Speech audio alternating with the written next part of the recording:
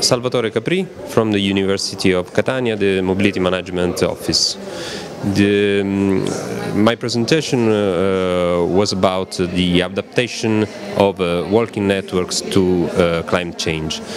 Um, we need to adapt uh, walking network to adapt to climate change because we uh, uh, have to limit the impact of climate change. And so we can achieve an increased number of walked kilometers in um, in our uh, also beyond the city centers, not only in the city center, uh, in order to mitigate, to, to achieve mitigation of uh, climate change.